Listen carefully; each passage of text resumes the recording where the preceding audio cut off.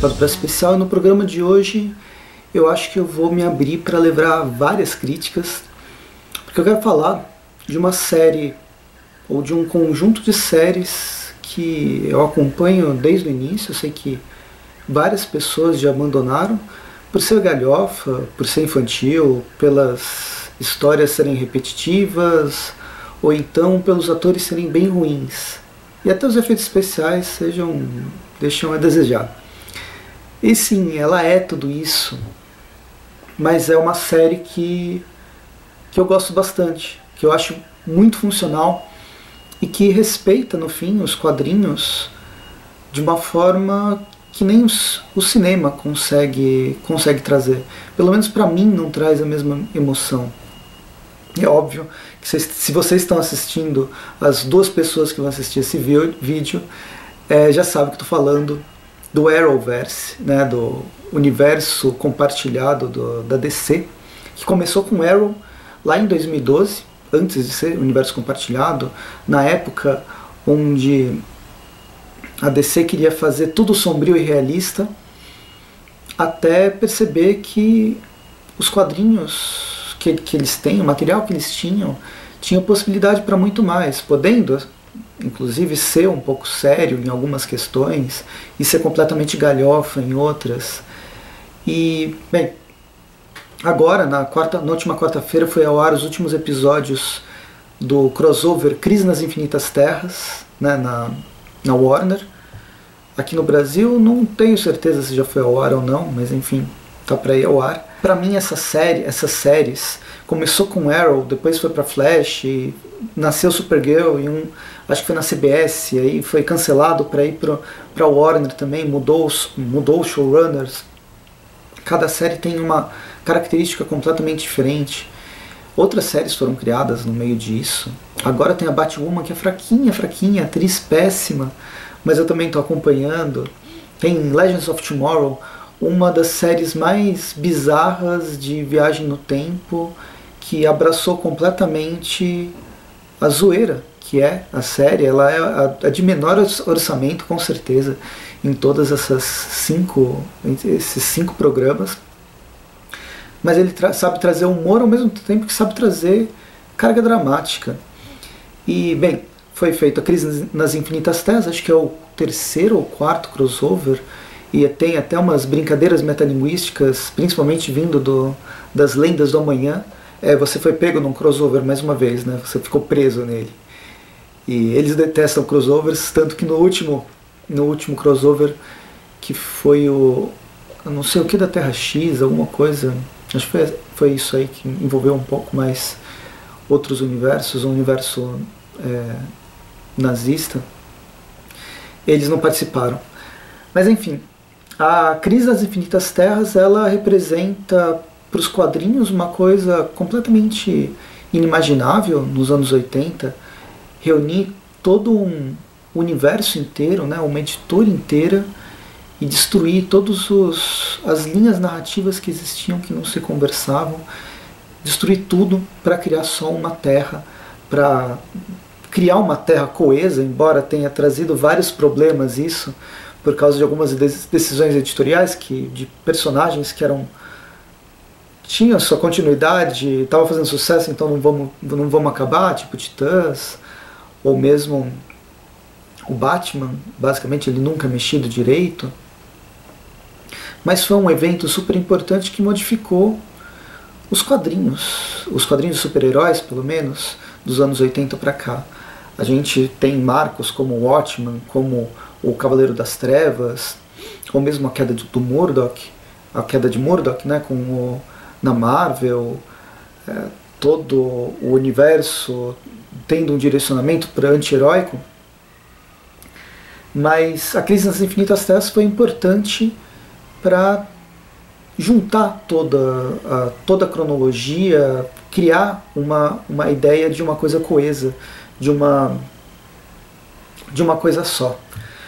Na, isso aí com o tempo foi se desgastando, são putz, pelo menos uns 50 títulos saindo mensalmente, cada autor fazendo coisas diferentes, e isso aí se desgasta até chegar em eventos a cada 10 anos que tem que ser a tudo, como o Zero Hora, que foi em 96, que está agora a Panini está publicando, depois o Flashpoint em 2000 e, acho que foi 2012 que aconteceu.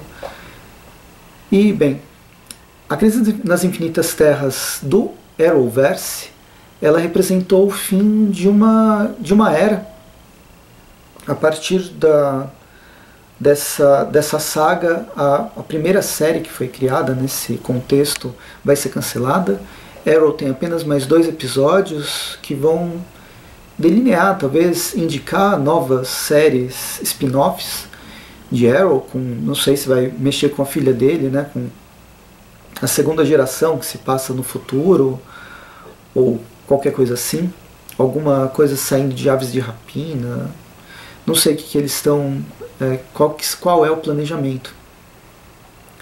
Mas foi uma, um, um evento que realmente reuniu todos os, todo o multiverso da DC. E uma das coisas mais divertidas é você ver outros universos, outros seriados e filmes sendo, sendo mencionados. É, todo mundo já sabia que ia aparecer o Robin da Terra da Terra 66, que é o, o Robin lá, o, é, acho que é Butch Barnes, esqueci o nome do ator, mas é o cara que fazia o Robin na, naquela série dos anos 60, o Flash da década de 90. Teve o, o, o Clark Kent do, do Smallville aparecendo. E uma das surpresas que agora já está em todo, todo o Facebook, eu mesmo eu vi menos de 24 horas depois que foi lançado e já sei os, os spoilers. Então, provavelmente você sabe também que o Ezra Miller, o Flash do universo é, do universo cinemático da DC, apareceu nessa série também. Então, é, foi uma brincadeira super divertida que eles fizeram. Ao mesmo tempo, trataram o evento como um evento sério eles conseguiram emular todo aquela, aquele senso de perigo e senso de putz, vai dar merda, de crise nas infinitas terras. Terras foram dizimadas, terras foram destruídas, os personagens eles foram sentindo cada uma dessas mortes. Teve fuga de uma terra para outra, é, coisas completamente cósmicas e volto a dizer inimagináveis que eram nos anos 80 para os quadrinhos foi inimaginável porque a gente tem agora no multiverso, no multiverso multimídia, é, com referências até Batman do Futuro, embora um Batman do Futuro um pouco diferente, a série Lucifer, onde a gente pode encaixar a série Lucifer, que é, faz parte da DC, faz parte do espólio da DC, vai, mas onde a gente podia encaixar Lucifer dentro do desse Arrowverse? E ele está lá. Foi uma passagem muito engraçada, inclusive com Constantine, um Constantine que também é um outro sobrevivente da crise nas infinitas terras, dos infinitos cancelamentos, porque ele teve uma série própria, que se eu não me engano foi na Fox, foram 12 episódios bem ruins, que o personagem, a caracterização dele foi tão legal e o pessoal gostou tanto, por mais canastrona que seja, que ele foi recuperado para o Arrowverse. Ele já está aparecendo, já faz uns dois, três anos, e agora ele fez um, uma ponta aparecendo junto com o Lucifer. Teve que mais? Monstro do Pântano, Patrulha do Destino, teve uh, o, no, o novo universo dos Titãs, inclusive uma série que tem tudo para ser boa, mas ela dá uns tropeços horríveis. E eu comentei nela sobre ela no, no Instagram já. Inclu ah, uma das coisas, no final da série, no final do, dos cinco episódios, não é spoiler, falar que, de certa forma, tudo vai, vai continuar do, do mesmo jeito. Ou pelo menos vão ocorrer mudanças, mudanças é, acho que pesadas na cronologia dos personagens, eles vão se acostumar e a gente vai ter que se acostumar junto com eles, com algumas alterações mas uh, algumas coisas que acontecem é que vai, a gente tem um multiverso ainda, um novo multiverso. Basicamente, a Terra 1, que era a Terra do Flash, do Arrow e tal, virou a Terra primordial. e os outros universos, como o universo dos Titãs, né? a série dos Titãs vai ter continuidade, não vai ter ligação com o universo, esse universo da, da CW. Mas, por, por exemplo, o Raio Negro começa a, ser, a fazer parte integrante desse universo da CW. A gente tem é, vislumbres de uma nova Terra 2 com a Sociedade da Justiça. Sociedade da Justiça que vai aparecer num seriado que foi é, anunciado para talvez esse ano, que é o da, Star, da Stargirl.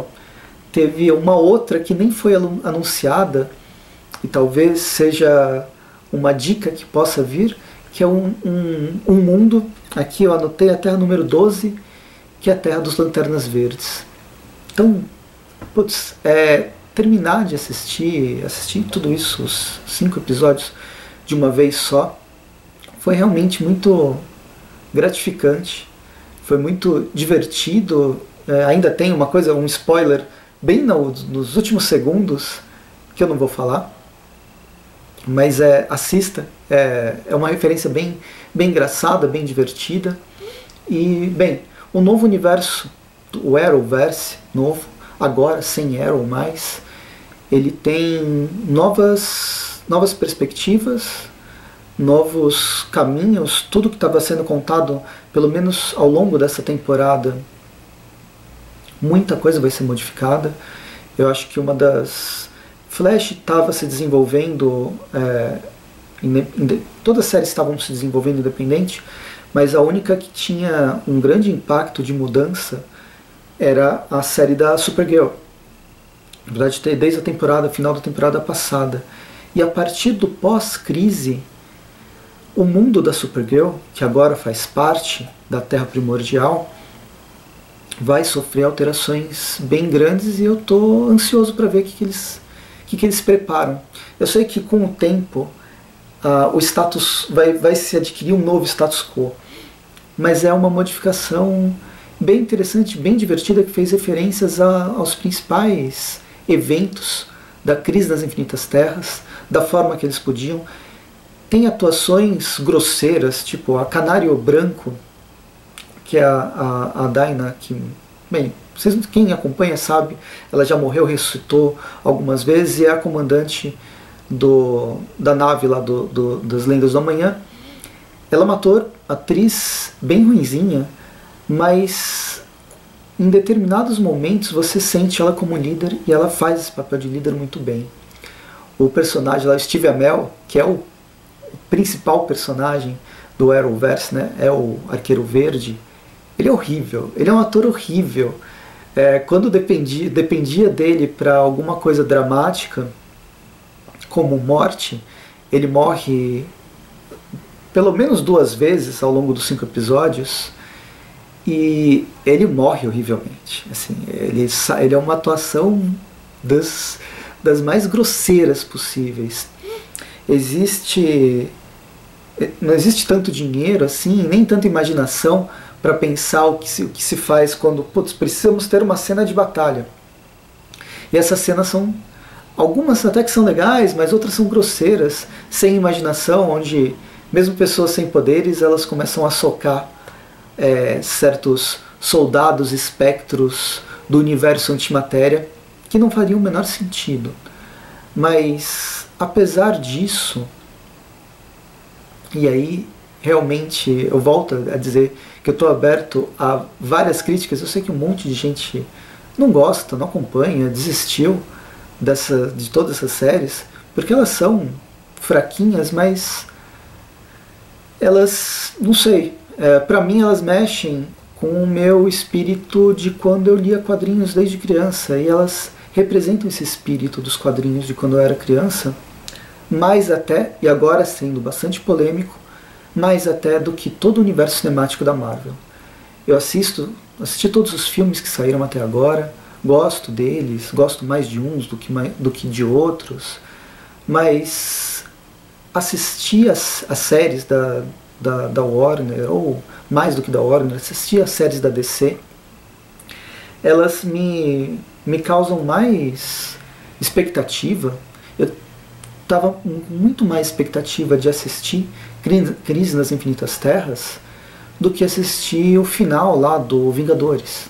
Né, os, os episódios, os, os, episódios, os dois filmes do Vingadores, que foram legais, mas para mim eles não mexem tanto quanto esses personagens da DC, que são não são os mesmos dos quadrinhos, mas que remetem várias vezes a várias sagas, a várias passagens dos quadrinhos que eu leio desde, desde 94, quando eu comecei a ler essas histórias. Putz, o é, que, que eu posso dizer? Essa. Espero que vocês tenham gostado do vídeo. Eu gostei bastante das, do, da Crise nas Infinitas Terras. Eu gosto dessas séries da, da Warner, mesmo que elas não sejam o primor e um primor de, é, de programa, de atuação, de direção, mesmo de roteiro, mas elas me surpreendem e me emocionam. Gostei bastante, espero que vocês tenham gostado do vídeo.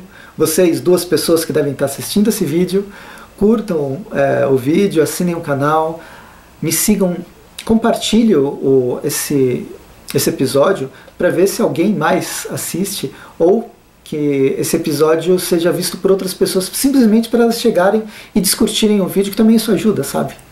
E me xingarem porque essas séries são uma porcaria e os filmes da Marvel são muito melhor e blá blá blá blá blá blá. Então é isso, vai. Curtam o vídeo, assinem o canal, compartilhem, me sigam no Instagram. Eu faço críticas é, todos os dias, sai crítica uma, de série ou de filme no Instagram, no arroba Gaudio. E a gente se vê no próximo episódio. Até mais e bons quadrinhos. Na verdade, bom seriado. Assista o seriado, assista pelo menos o Cris nas Infinitas Terras e depois venham com todas as pedras por cima de mim. Até mais.